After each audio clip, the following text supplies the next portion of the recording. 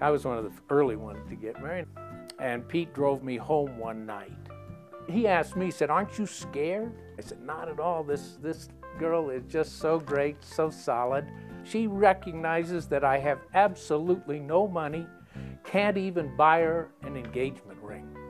Pete looked at me and said, Fred, he said, That's not going to happen. He says, What we're going to do, I'm going to lend you $125 and I was to go march down, if you will, to Fog Jeweler and buy her an engagement ring. After graduating, Pete squeezed in a year to pitch for the Albuquerque Dukes. These pitches were all hard and fast. I don't mind the fastballs, but I didn't mind those lousy curves. So. Soon, Pete and Nancy married, and he began his professional career as a teacher. But with a large family in the making, Pete decided law school made better sense. Pete no sooner graduated from law school than he considered another career move. He was influenced by working downtown, and he was a lawyer, so he would ruminate with other lawyers about problems of the city. He knew what the city council was like. And he decided that he wanted to make some changes if possible. I would complain a lot about government. And I had some friends that had to listen to it. And so uh, on a given day, five of them sat me down, and uh, essentially they put the question to me Will you run? I don't think so. Well, if you don't run, then you, you got to quit bitching. And uh, that's pretty serious stuff. It wasn't like we had long discussions about uh, this is my future and what do you think about it. It was sort of like, that's what I'm going to do. And I knew he was excited about it. It's better to have an excited spouse that's working than somebody that doesn't like his job. Truth hit them sooner than it hit me, the reality. And, and they got a group together and came see me and said, We really were mistaken. Don't do it. What are you talking about? Well, you know, it's a terrible life. And you've got friends, you'll have enemies, you can have a great future, you'll be, this will be a terrible thing.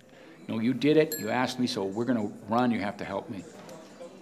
My career as a politician began with a dare at 34 years of age, 1966. Magnuson's restaurant, downtown Albuquerque. Pete was elected to the city commission and headed up the city commission as de facto mayor.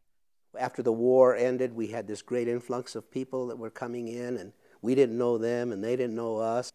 Senator Domenici and that group that came into power at that time were very effective in getting all of these different kinds of people to become part of the Albuquerque family. It made that transition, which is never easy, from a village to a city, uh, much easier. Pete decided to take the next logical step. The first office he ran for was uh, for governor of the state of New Mexico, and he ran against Bruce King, and he got clobbered. And that was a terribly wrenching evening. For me, that night after the election was so deflating. We came home, and for some reason, all the beds were full except for one twin bed. And I remember sleeping in that twin bed and crying. Bruce did an excellent job when you get right down to it. Pete didn't stay discouraged for long and decided to run for the Senate. I remember so clearly two years prior to that when he didn't win the governor's race, and we were all gathered, and these big tears were coming down his eyes, and, and he was, you know, sad and yet understood what had occurred. And then two years later, when he won the Senate race, he was still crying, and he says to the mass of people that was there, Two years ago, you saw tears of a totally different thing. He said, I am so grateful and so appreciative, and I will be your good senator.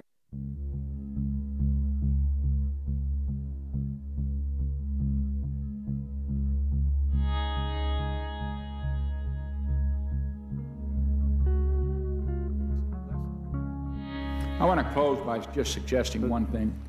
If that hearing uh, said anything, it, it, it said that there really ought not be competition between sources.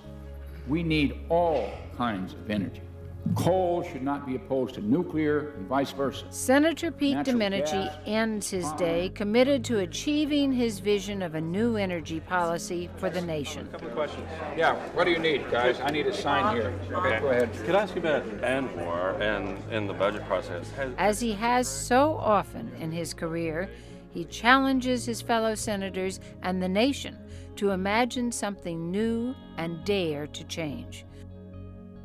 To me, it's a combination of integrity and character and grace. And that really captures his undying faith, his commitment to, to a family, and to the boldness and, and visionary leadership that we are the beneficiaries of every day on the floor of the United States Senate. He's uh, served our state uh, longer than anyone in, our, in the history of our state in the U.S. Senate. And uh, I think that, uh, that that's understandable when you, when you see the uh, dedication that he brings to the job. Well, he's been a conspicuous and lasting influence on the Senate and those of us who've served here. I think we're all better because of his service in the Senate and his example. I put my head to it. I do it. Sometimes I feel great about what I have done. Sometimes I don't. Sometimes I'm very critical of what I didn't do and how I didn't achieve what I wanted. And that's probably okay, probably good for you. You see some national issues that are that you can really get involved in and feel comfortable with and, and say, if I get them done, I've changed something. To get from, from a great scientist the idea about the federal government pushing the mapping of the human genome, staying involved long enough in fiscal matters to get a couple of balanced budgets. Uh, the people you get to meet and the people you get to, to hire and see do big things. They're both very important. I think I want my legacy to be that I uh, had no uh, motives other than to be uh, uh, the best senator for New Mexicans that I could be. The senator from New Mexico, Pete Domenici.